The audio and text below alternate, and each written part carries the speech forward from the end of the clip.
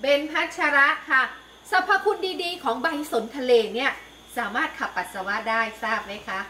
สำหรับท่านที่ฉี่ไม่ค่อยออกละค่ะ ฉี่ออกมานิดๆหน่อยๆละค่ะ ใช้ใบสนทะเลนี่ละค่ะ ในการแก้ปัญหานะคะ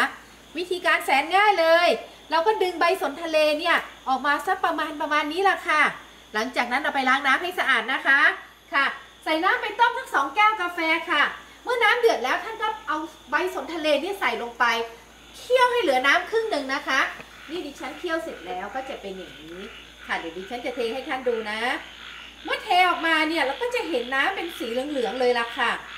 ค่ะปล่อยให้เย็นแล้วยกขึ้นดื่มกินก่อนอาหารนะคะเหลืองๆอย่างนี้เลยเห็นไหมคะ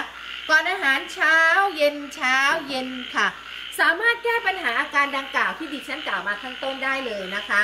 ค่ะ ข้อมูลดีๆอย่างเนี้ย เป็นภูมิปัญญาของบรรพบุรุษ ตั้งแต่สมัยโบราณโบราณที่ใช้ใบสนทะเลในการแก้ปัญหาล่ะค่ะ ถูกใจยังไงก็บอกต่อ แล้วกดติดตามดิฉันไว้นะคะ